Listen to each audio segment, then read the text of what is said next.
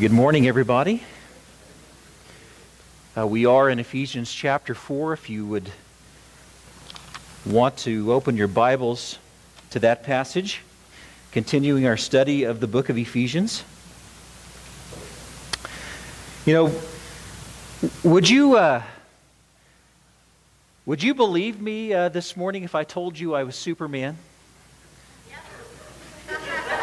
Well, that settles it. You know, maybe even if I took off my disguise here, you know, uh, you could see it more clearly.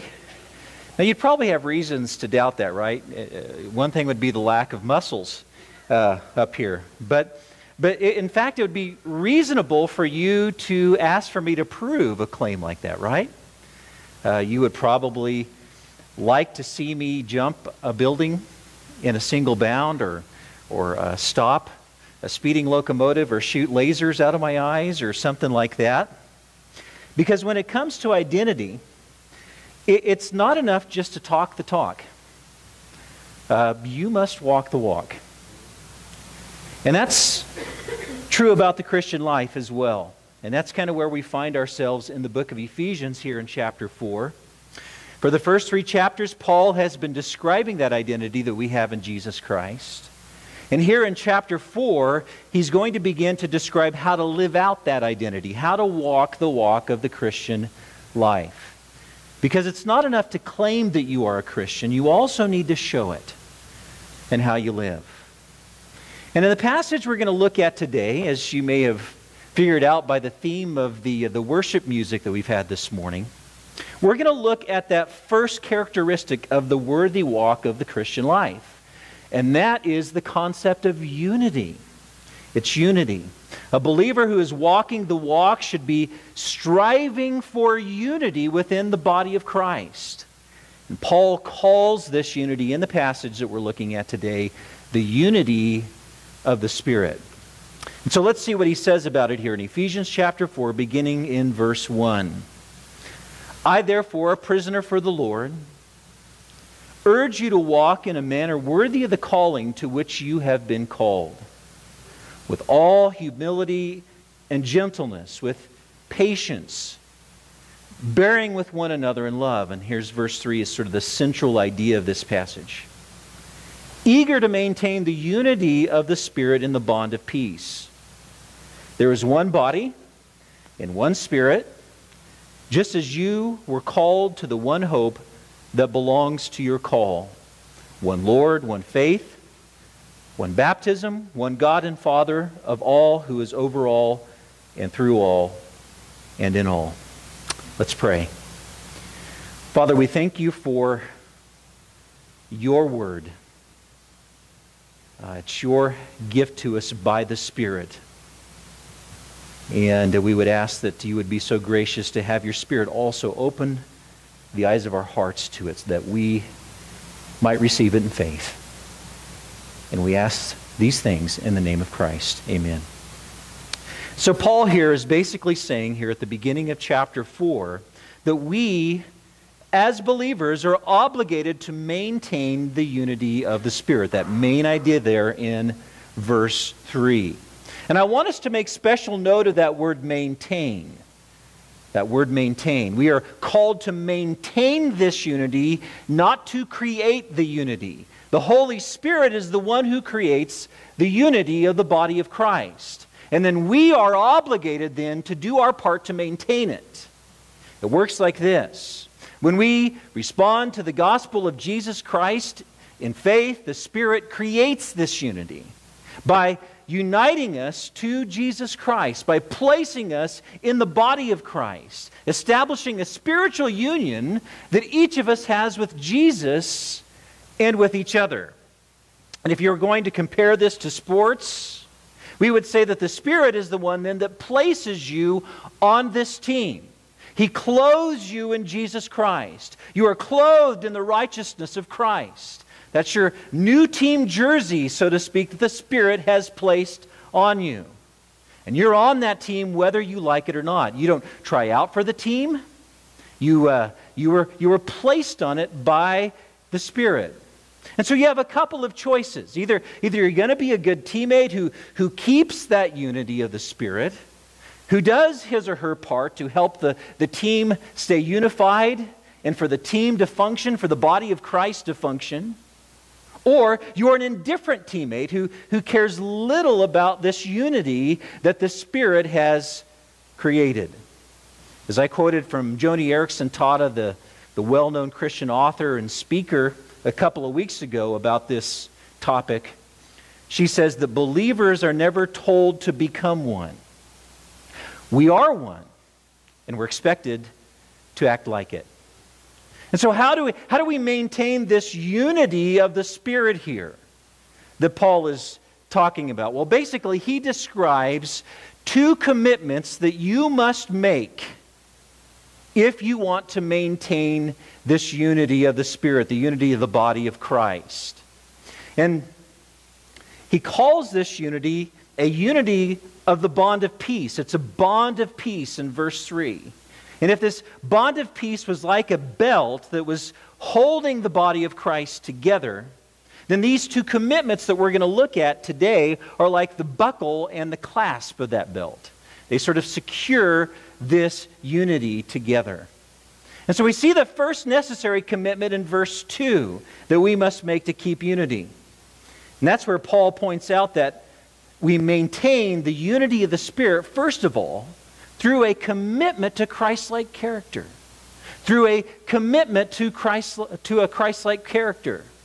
And Paul, in that verse there, in verse 2, lists a series of Christ like character traits humility. And I think all the rest of the traits that we see there are really grounded in that idea of humility. Patience, gentleness, meaning restrained power, a person who demonstrates gentleness is, is not given to volatility, not given to flying off the handle, and then bearing with one another in love. And I, I would argue that these are Christ like character traits that we are called to put on in the Christian life. These are fruit of the Holy Spirit, so to speak. These are the traits, as we saw last week, that we should be going to God going to the throne of grace so that He, by a work of the Holy Spirit, can strengthen us with inner power in order to live out those traits so that Christ may dwell in our hearts richly. And so, so why, does, why does Paul say that we should put on these traits? Well, I think it's obvious, but I'll, I'll mention the obvious anyway. It's because that anyone who is, who is demonstrating the character of Christ will not be causing division within the body. They won't be seeking controversy within the body. Anyone who's manifesting the character of Christ will not be prone to pettiness or, or grudge holding, things that typically cause division among the body. In Philippians chapter 2, if you want to make your way there in your Bibles, Paul uh, gently addresses a developing point of division among the believers in the church in Philippi. And at the center of this kind of burgeoning controversy, there, there were two women, one named Euodia and one named Syntyche. We're never told what the conflict was between the two women, whether it was a power struggle of some sort, we don't know. But evidently, whatever their issue was, it was immaterial. Paul doesn't address the issue that they were having. But we can read his prescription for the problem there in the church, that division, and how they should maintain the unity of the Spirit. Philippians chapter 2, uh, beginning, beginning in verse 1, Paul writes So if there's any encouragement in Christ, any comfort from love, any participation in the Spirit, any affection and sympathy, complete my joy by being of the same mind, having the same love, being in full accord and of one mind. And do nothing from selfish ambition or conceit, but in humility. Count others more significant than yourselves. Let each of you look not only to his own interests, but also to the interests of others. And so have this mind among yourselves, which is yours in Christ Jesus, who, though he was in the form of God, did not count equality with God a thing to be grasped, but emptied himself by taking the form of a servant, being born in the likeness of men.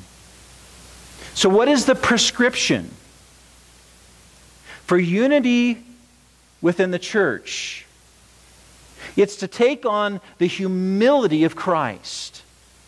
And something tells me that the much of the division that we see in the visible church today would be eliminated if we could just accept an ounce of the humility that the Son of God demonstrated in letting go of the glory of an eternal heaven to take on the form of a man and then to be a servant at that. Christ like believers do not tear at the unity of the Spirit, they keep it. Now, he probably doesn't like me mentioning this, you know, but Pastor Mark is a trained mediator. And uh, he's been called into various churches over the years to, to sort of mediate different divisions and splits and things like that that were going on within local bodies. And I could remember him making a statement probably a couple of years ago about this that just really stuck to me and spoke to me about this topic. He said, I've never experienced a problem within a church that just a dime's worth of Christianity could fix or couldn't fix. And so perhaps if, if we found ourselves in a point of conflict with another believer, the first question we ought to ask ourselves ought to be Am I manifesting the character of Christ in this situation? Especially, am I, am I attempting to put on his humility? If not, I, I need to go to the throne of grace to get the strength that is needed to do so.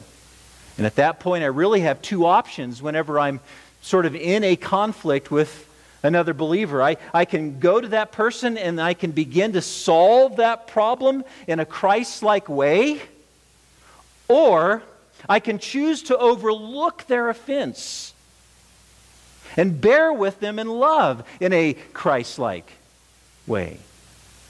And so the first commitment to keep the unity of the Spirit is to demonstrate the character of Christ within the body.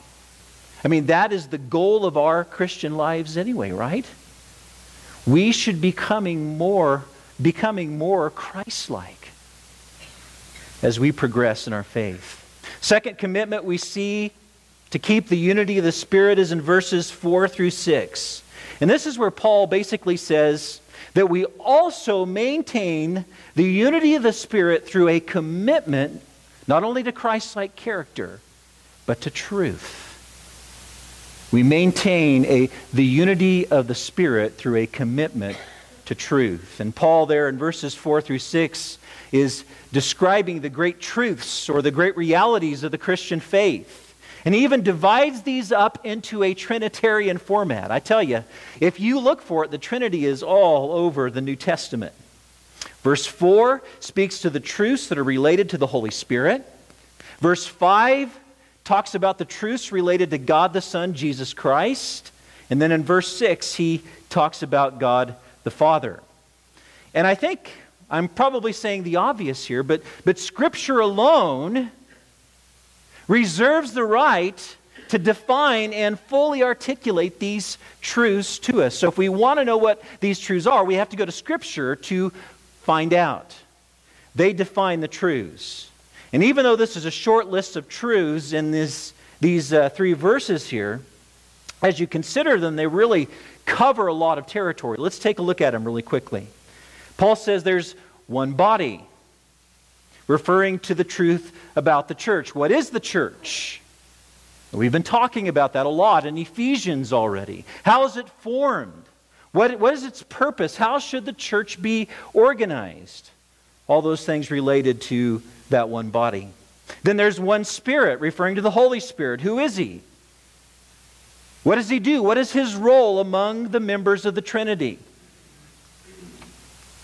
Then there is, according to Paul, one hope to which we are called to by the Holy Spirit. And this hope, according to 1 Peter, is a living hope and, and a glorious future inheritance guaranteed by the resurrection of Christ. There's one Lord, he says Who is this Lord? Who is Jesus? What has he done? What is he continuing to do? What will he do in the future? There's one faith. And we're not talking about faith bracket here. Okay? We're, we're talking about the body of teachings that have been given to us by Christ and his apostles that comp, uh, comprise what it is we must believe. It's the body of teachings. And at the center of those teachings is, is the most important truth, which is the gospel. The message of Jesus Christ, who he is, and his death for sin and resurrection. The one faith. Then there's one baptism. I do believe Paul's referring to water baptism, the ceremony that publicly identifies a believer with Jesus Christ and identifies him with Christ's church. And there's one Father, he says, who is Father over the children of God, sovereignly at work in our lives, working all things for good, according to Romans 8. And Paul is saying that those are the truths of the Christian faith that need to be agreed over in order to maintain the unity of the Spirit. Any unity that is maintained at the expense of those truths is actually a false unity. And not only is it artificial, it is dangerous to try to create a so called Christian unity while rejecting those truths. And you, you see this priority in the purity of the truth before you establish unity in a statement that James makes in the book of James where he says, But wisdom from above is first pure, and then, secondly, peaceable. The purity of the truth must be clung to in order for there to be genuine unity. Think of these truths here that Paul laid down in these verses as though they were fences or boundaries Genuine unity of the Spirit can only take place within those boundaries, is what Paul is saying. And if you're a rancher, if you're, if you're like Austin, or if you're like Paul, you know how important it is to, to set up and to tend to good fences, right? I mean, without a well tended fence, thing, your, your, your, your cattle or your, or your sheep are going to wander off. Or even worse, wolves or coyotes are going to wander in. And they're going to help themselves to dinner, right? So it is with these boundaries that Paul has laid down for us within which to keep the unity. But you know, that's not how evangelicals approach unity anymore. The approach nowadays is to, to downplay truth in order to have unity. And so as a result, we've, we've sort of torn down or renegotiated some of these old boundaries, some of these old truths. Because after all, isn't the truth and clinging to truth way too dogmatic? Shouldn't we just unite over feelings? Shouldn't we just sort of unite over shared experiences and, and, and, and preferences and that sort of thing? You know, we're, Sort of like that Nike ad. I don't know if you've seen that new Nike ad uh, that's come out recently. It has uh, Colin Kaepernick on it. Have you seen that, that ad with Colin Kaepernick? What's the slogan to that ad? Well, that's Nike's slogan, just do it. But, but on that ad, it says, believe anything, and then sacrifice everything. Really? Tell that to the survivors of Jonestown. Believe anything. You know, that may be a catchy slogan, but that's a horrible way to approach the truth. And yet it seems like an apt description of, of where we are as a church today and evangelicalism. And there, there are lots of polls that have been out recently, uh, taken among self professed Christians, that, that indicate this the Lifeway and Ligonier poll that came out a couple years ago. Um, asking evangelicals questions like, well, who's Jesus? Well, I, I think he's uh, I think he's like the, the first created being, isn't he? Right? Um, a little higher than the angels, maybe. He's a great guy. God, I, I don't know if he's God or not. Holy Spirit. What's the Holy Spirit? You know, is it it's like this force? Kind of like Star Wars force. I kind of I kind of tune this little knob over here and I got to dial in, you know, to feel what he's saying or what this inanimate force is doing. What about the Trinity? Well, we think there's one God, but he kind of runs around in human history masquerading as someone different all the time. In the Old Testament, he was this guy called the Father, kind of angry. And then, then, he, then he came to earth as the Son in Jesus Christ. And then he went away and he came back as the Spirit. What about the gospel? Well, isn't that where if I'm good enough? That God's going to allow me into heaven? I mean, that's, that's where we're going. We, we've, we've taken down those old markers, those old established truths for the sake of unity, oftentimes. And we become a people who don't know what we believe and why we believe it. And this is showing up in large amounts of young people who are abandoning, abandoning the evangelical faith.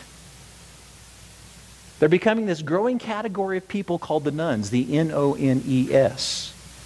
They're not becoming Catholic nuns, they're becoming N O N E S nones. No affiliation. There's a, there's a great, uh, actually, great article on Pastor Mark's uh, Facebook page if you want to find that. I think, didn't you post that this week about that growing category of, of young people?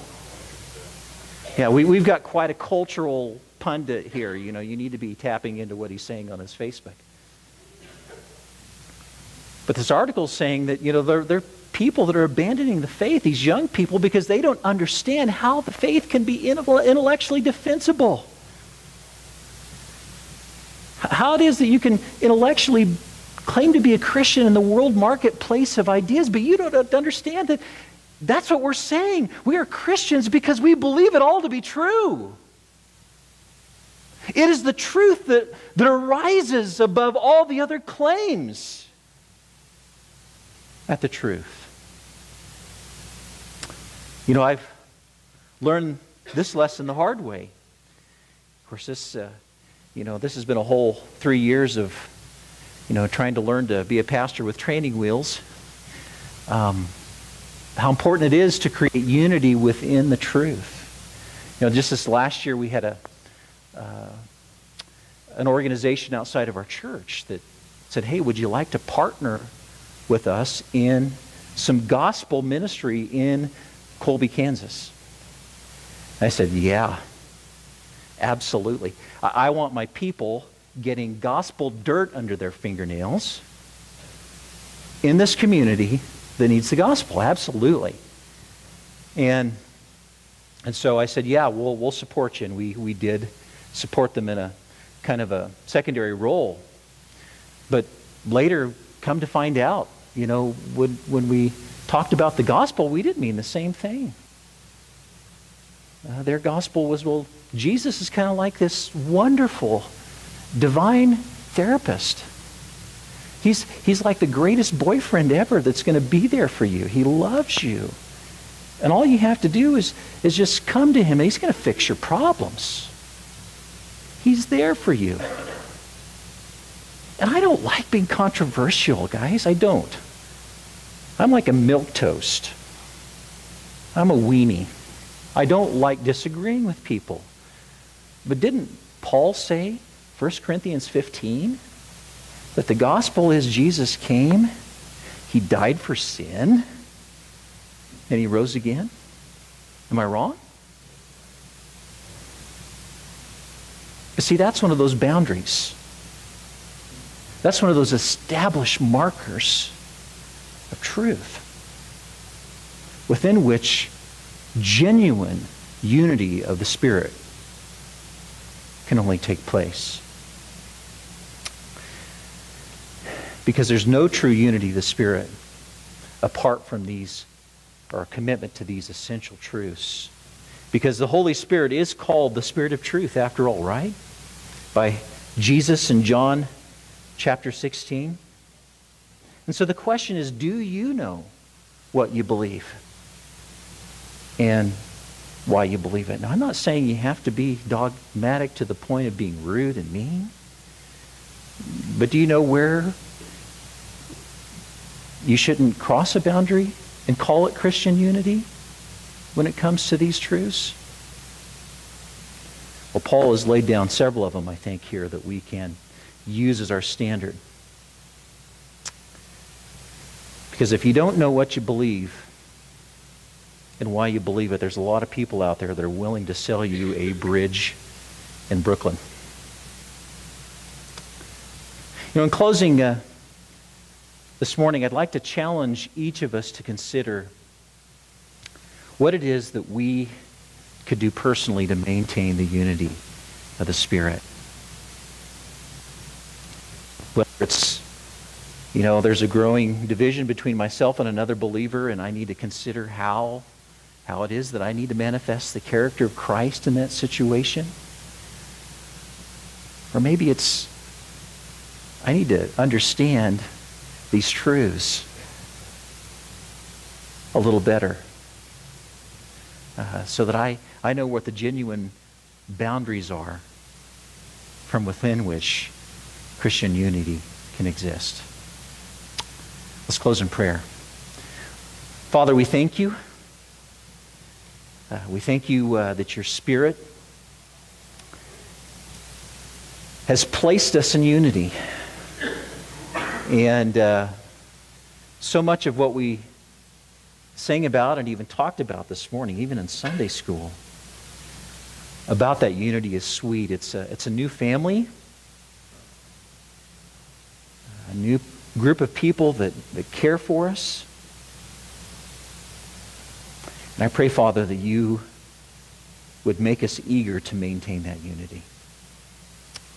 And we ask all these things in the name of your Son, Jesus. Amen.